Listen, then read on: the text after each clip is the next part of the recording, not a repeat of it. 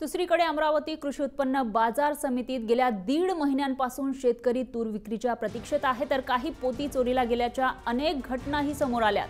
अमरावतीच्या बाजार समितीमध्ये खरेदी यंत्रणेत त्रुटी असल्यामुळं शेतकऱ्यांचं प्रचंड नुकसान होतंय.